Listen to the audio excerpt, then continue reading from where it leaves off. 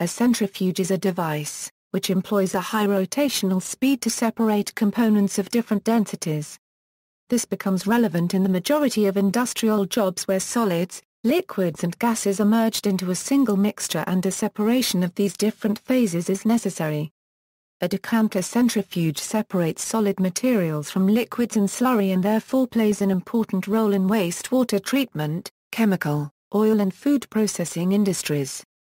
There are several factors that affect the performance of a decanter centrifuge and some design heuristics to be followed which are dependent upon given applications. Operating principle The operating principle of a decanter centrifuge is based on separation via buoyancy.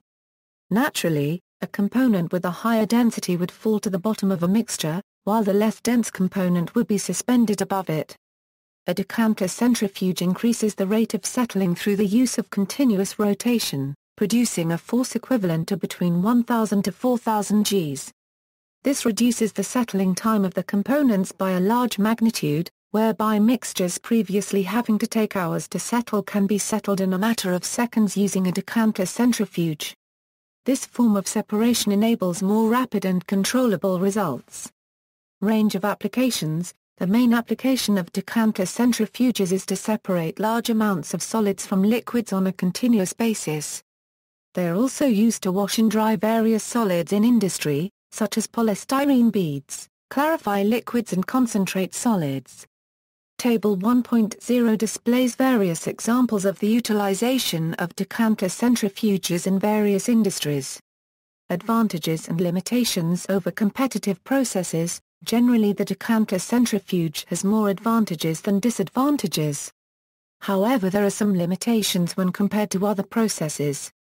Advantages Decanter centrifuges have a clean appearance and have little to no odor problems. Not only is the device easy to install and fast at starting up and shutting down, but also only requires a small area for operation compared to other competitive processes. The decanter centrifuge is versatile as different lengths of the cylindrical bowl section and the cone angle can be selected for different applications. Also the system can be pre-programmed with various design curves to predict the sludge type, while some competitive processes, such as a belt filter press, cannot change the belt type to operate for different sludge types. Its versatility allows the machine to have various functions such as operating for thickening or dewatering. The machine can operate with a higher throughput capacity than smaller machines. This also reduces the number of units required. The device is simple to optimize and operate as it has few major variables and reliable feedback information. The decanter centrifuge has reduced labor costs compared to other processes, as it requires low continuous maintenance and operator attention. Compared to some competitive process such as the belt filter process, the decanter centrifuge has more process flexibility and higher levels of performance. Limitations the decanter centrifuge cannot separate biological solids with very small density differences, such as cells and viruses. A competitive process that is capable of separating these difficult-to-separate solids is the tubular bowl centrifuge. The machine can be very noisy and can cause vibration. The device has a high energy consumption due to high G-forces. The decanter centrifuge has high equipment capital costs. Hard surfacing and abrasion protection materials are required for the scroll to reduce wear and therefore reduce the maintenance of the scroll wear. Designs available The main types of decanter centrifuges are the vertical orientation, horizontal orientation and conveyor scroll. In vertical decanter centrifuges the rotating assembly is mounted vertically with its weight supported by a single bearing at the bottom or suspended from the top. The gearbox and bowl are suspended from the drive head, which is connected to the frame. The vertical decanter allows for high temperature and or high pressure operation due to the orientation and the rotational seals provided at one end. However, this makes the device more expensive than the horizontal decanter centrifuge, which is non-pressurized and open. The advantage of the vertical machine over the horizontal machine is that the noise emitted during production is much lower due to less vibration. In horizontal decanter centrifuges, as shown in Figure 1, the rotating assembly is mounted horizontally with bearings on each end to a rigid frame, which provides a good sealing surface for high-pressure applications. the feed enters through one end of the bearings, while the gearbox is attached to the other end and is operated below critical speed. Capacities range up to 40,000 pounds of solids per hour with liquid feed rates of up to 300 US gallons per minute. The horizontal machine is arranged in a way that slurry can be introduced at the center of a rotating horizontal cylindrical bowl. The scroll discharge screw forces the solids to one end of the bowl as it is collected on the walls. This orientation is the most common design implemented in industry. In conveyor decanter centrifuges the conveyor or scroll fits inside a rotating bowl and carries the solids settled against the wall, pushing them across a beach towards the underflow where the solids discharge. The conveyor allows for an increase in separation efficiency and feed capacity. Decanter centrifuges process characteristics, the separation process in a decanter centrifuge relies on a few process characteristics such as centrifugal force or G-force, sedimentation rate and separating factor, differential speed between the conveyor and bowl, and clarity of the liquid discharge. Decanter centrifuges require a centrifugal force for the separation of the solids from the liquid. This characteristic is dependent on the radius of the centrifuge and its angular rotational speed. A decanter centrifuge applies a force equivalent to several thousand Gs, which reduces the settling time of the particles. It is also favored to maintain a large G-force, which will result in an improved separation. The rate at which sedimentation occurs is an important characteristic of the decanter centrifuge separation process. The sedimentation rate is influenced by the particle size, the shapes of the particles, their differential densities and the viscosity between the particles and the liquid. This process characteristic can be improved by utilizing flocculating agents. The sedimentation rate is also dependent on the separating factor of the decanter centrifuge, which is related to the centrifugal force. The exterior bowl and the scroll conveyor rotate at different high speeds. This differential speed between the two is accountable for the sedimentation throughout the decanter centrifuge cylinder. A high differential speed results in a smaller residence time of the cake settlement, so it is necessary to keep the cake thickness to a minimum to avoid impairing the discharge quality. Keeping the cake thickness to a minimum also aids in the improvement of the cake dewatering process. For this reason it is necessary to obtain an optimal differential speed to balance the cake thickness and quality. The characteristic above all affect the clarity of the liquid output which is dependent on the volumetric throughout rate, where a higher flow rate will result in a poor liquid clarity. Another characteristic that influences the clarity of the liquid outputs is the differential speed. A low differential speed results in a better clarity therefore aiding in the separation process. The G-force also plays a role in the clarity of the liquid discharge. Higher G-force results in an increase in the separation of the solid particles from the liquid and yields a better clarity.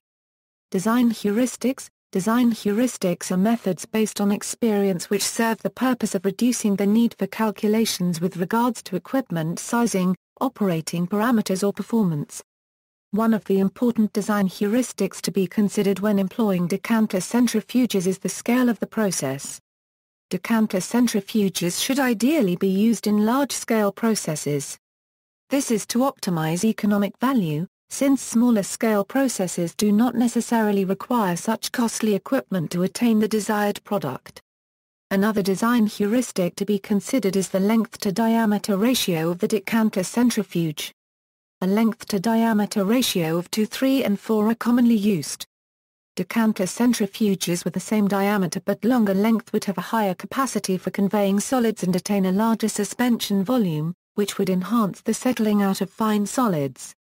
The beach angle at the conical section of a decanter centrifuge is a design heuristic, which must also be taken into consideration. The slippage force acting on solids in the direction of the liquid pool increases by a large magnitude when solids exit the pool onto the beach. A decanter centrifuge possessing a small cone angle is able to produce a lower slippage force compared to a large cone angle. A low cone angle is beneficial when solids do not compact properly and possess a soft texture. Additionally, Low cone angles result in a lower wear rate on the scroll and are beneficial when being used with very compact solids requiring a large magnitude of torque to move. the magnitude of centrifugal force being used must also be considered. Centrifugal force aids with dewatering, but hinders the transport of cake in the dry beach. Hence, a trade-off exists between cake conveyance and cake dewatering. A balance between the two is necessary in setting the pool and G-force for a particular application. Additionally, a larger centrifuge will produce better separation than a smaller centrifuge with the same bowl speed as a greater G-force would be produced.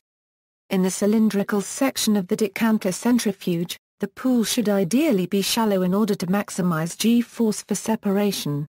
Alternatively, a deeper pool is advantageous when the cake layer is too thick and the finer particles entrain into the fast liquid stream, since a thicker buffer liquid layer is present to help settle suspended solids. The compromise between cake dryness and clarity of centrate is to be considered. The reason behind this trade-off is that in losing fine solids to centrate, the cake with bigger particles is able to dewater more effectively which results in drier cake. Optimal pool for a particular application should be identified through the conduction of tests. Another important heuristic is the differential speed, which controls cake transport. A high differential speed would give rise to a high solids throughput. A high differential speed also reduces cake residence time. Post-treatment systems, the production of a waste stream is small in comparison to the overall process output. However can still pose a number of significant problems. Firstly, the volume of waste in the process reduces the available volume to be used for the process. Direct disposal into the environment of especially oil wastes can be detrimental to the surroundings if a treatment is not applied. The post-treatment system applied to the waste product should depend on the specific treated product required. The objectives of post-treatment can range from achieving a product that can be safely disposed, recycled into the refining process or requires an adequate water phase to be reused in the process. The objectives of post-treatment vary between different industries where in order to perform an efficient and economical process, the decanter centrifuge must be tailored to the task at hand. In the food manufacturing industry, decanter centrifuges are utilized in oil extraction machines. An oil extraction machine can process up to 15 metric tons per hour of organic wastes and are found either within the process plant or outdoors if designed for the climate. The waste material enters the inlet chute and is softened into a sludge which is then steam heated. This mixture then enters a three-phase decanter centrifuge, also known as a Tricanter centrifuge. A Tricanter centrifuge operates on a similar principle to decanter centrifuges, but instead separates three phases, consisting of a suspended solids phase and two immiscible liquids. Sedimentation of the suspended solids occurs as normal where they accumulate on the wall of the bowl and are conveyed out of the centrifuge. The two liquid phases are separated using a dual discharge system where the lighter liquid phase such as oil, is separated over a ring dam via gravity, and water, which is commonly the heavier liquid phase, is discharged using a stationary impeller under pressure. Each of the three components, solid, oil and water, are distributed to different storage tanks. New development The rapid development of the decanter centrifuge over the 20th century saw it expand into a vast range of over 100 industrial applications. Further development since then has seen the refinement of machine design and control methods, improving its overall performance, which allows the system to respond quickly to varying feed conditions. The newest development in decanter centrifuge technology aims to achieve enhanced control of the separation process occurring inside the decanter. The way in which manufacturers aim to address this is by utilizing variable mechanical devices in the rotating part of the decanter centrifuge. To control the separation process, the operational parameters should be transferred from the rotating part to the stationary part of the decanter whilst also constantly controlling and maintaining the mechanical device inside of the process region. This can be achieved using hydraulic and electronic transfer systems. A hydraulic drive motor is easily able to access the rotating area of the decanter centrifuge. There are numerous manufacturers specializing in mechanical separation technology that have adapted these new designs into industrial standard equipment. This advanced technology has allowed decanter centrifuges to operate up to 250 cubic meters per hour and has developed numerous designs such as the Z8E decanter, known as the world's largest decanter centrifuge with an adjustable impeller, which supplies a torque of 24,000 newton-meters.